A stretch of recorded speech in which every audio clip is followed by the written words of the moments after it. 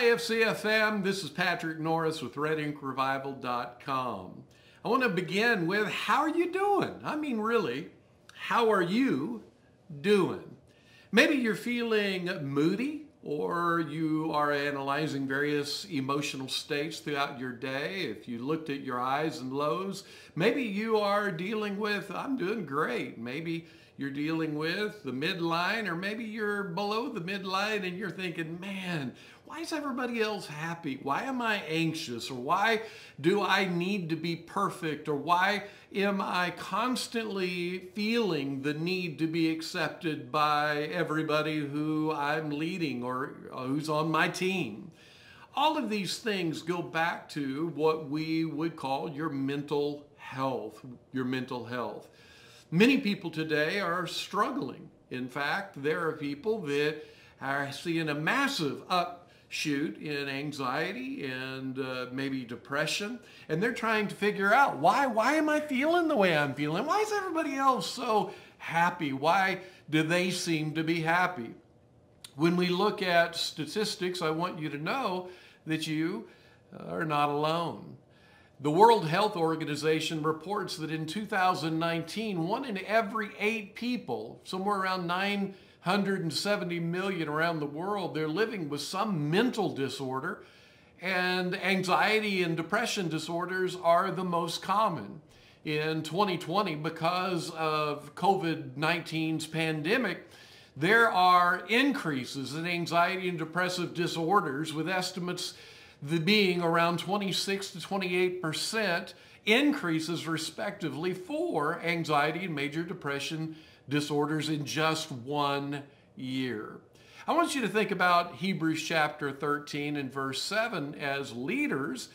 And he says to remember, be mindful of them which have the rule over you, who've spoken unto you the word of God, whose faith follow, considering the end of their lifestyle, their conversation. And then he goes on to say, obey or to have confidence and trust them that have the rule or leading over you and submit yourselves, for they watch over your souls. I want to capture that they watch over your souls.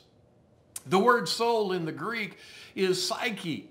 Psyche. It's where we get the word psychology. There's so much here to consider when we talk about why you feel, think, process the way that you do. In fact, there is a triad for mental health and a triad of mental health protocols that are required to live and lead from a, a healthy place. Now, mental health, by its very terminology, is referring to your mind.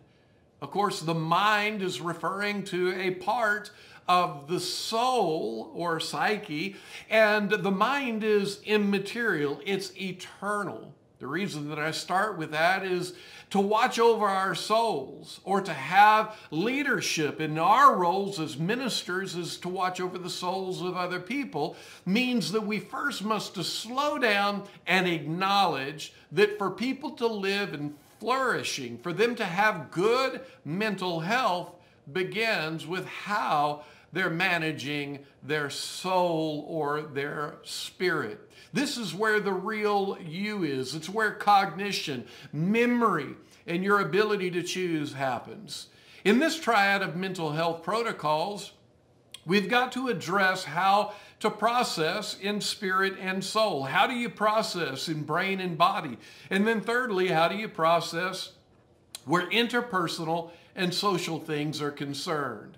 When we talk about, as an example, your spirit soul protocols, first of all, it's incumbent on a person, if you believe the Bible from a Christian worldview, to be born again. Being born again is fundamental to a person to live in human flourishing.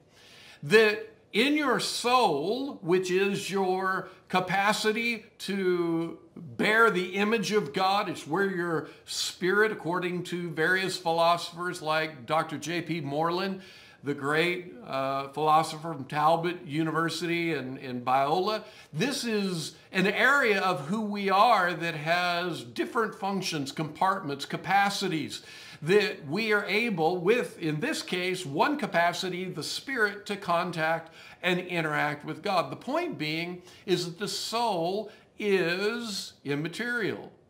And if you relegate everything about your cognition or your emotions to your brain, your neurons, your synapses, your axons, the various things that function neurobiologically in the brain, if we reduce it to that, we're going to miss the very core capacities within our consciousness, the very core of our nature, which is that we are a soul. We have various functions within that soul. So you, you've got to begin any mental health protocol with being born again. I think you also need to consider being baptized in the Holy Spirit and the quality of things like speaking in other tongues, praying in tongues, and what that does to the overall energy signature and that which is taking place even being received and interpreted through your, your brain and your body. Also, things like devotional connections that require loving prayer. Things like reading your Bible, listening to preaching of the word, meditations, gratitude, and so on, listening to worship music, and really being fully engaged in activations of faith.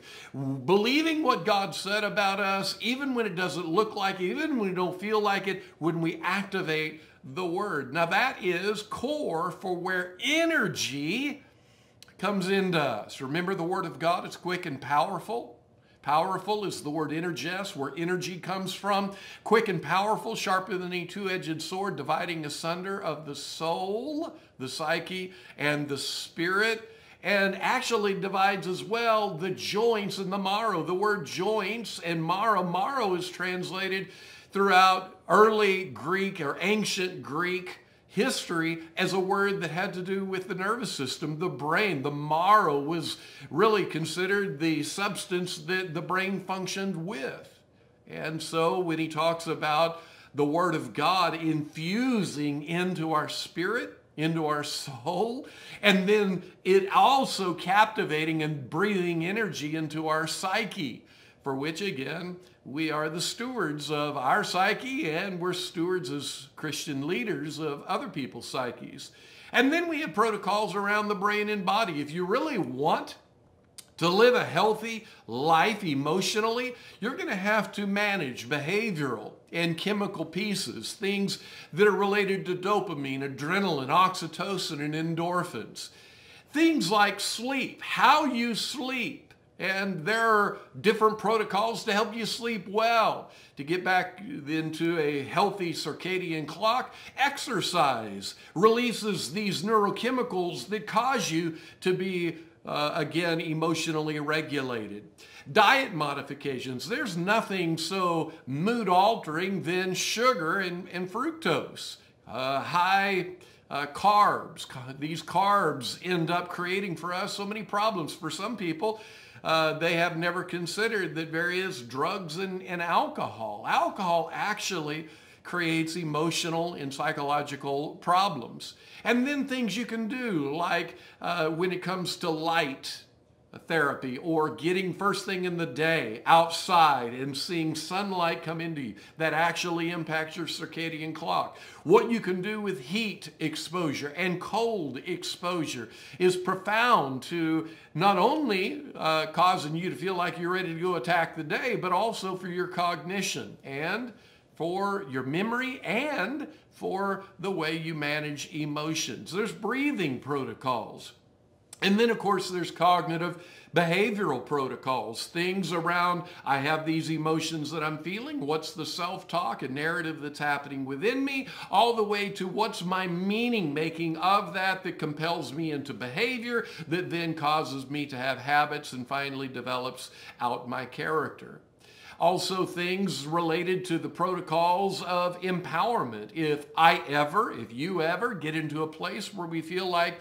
that we have no choice, we have no power, there's nothing that we can do, believe it or not, our brain and body will support that thinking. Support it with neurochemicals to cause you to be stuck. But as soon as you move into empowerment, I may not know everything to do, but these are some things I can specifically do, and we begin to move into them our body also will begin to release the neurochemicals that cause us to feel empowered. And when you feel empowered, it changes the way your moods are and what you're feeling emotionally. And so that all is critical to brain body protocols as, as well as things like a therapeutic relationship but not only do you have your spirit soul protocols, and not only do you have your brain body protocols, but you also need to address interpersonal social protocols. And what that has to do with is that the way that we were engaging our family of origin set programming in us of how we bond and how we feel and what we experience, all the way to today, if we are not what's called self differentiated, if we're not capable of being different and yet connected, being separate, individuated, and yet being connected to the people in our lives, if we're not skilled